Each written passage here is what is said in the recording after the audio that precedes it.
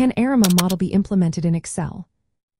Have you ever wondered if you can use the autoregressive integrated moving average model in Excel for your time series analysis? Let's break it down together. The ARIMA model is a powerful statistical tool used for forecasting future values in a time series. It combines three main components, autoregressive, integrated, and moving average. Each of these plays a unique role in making predictions. The autoregressive part uses past values to predict future ones. The integrated component involves differencing the data to make it stationary, which means removing trends and seasonality. Finally, the moving average part uses past errors to improve the accuracy of predictions. Now, you might be asking, can I actually implement this in Excel? The answer is yes, but with some assistance.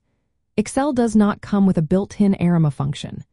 However, you can use add-ins like NumXL or the Real Statistics Data Analysis tool. These tools provide the necessary functionalities to fit ARIMA models to your time series data effectively. Let's go through the practical steps to implement ARIMA in Excel. First, ensure your data is organized in a time series format. This means your data should be in chronological order. Next, check if your time series is stationary. You can use tests like the augmented Dickey-Fuller test for this. If your series is not stationary, you will need to apply differencing. After confirming stationarity, you will select the appropriate parameters for your ARIMA model.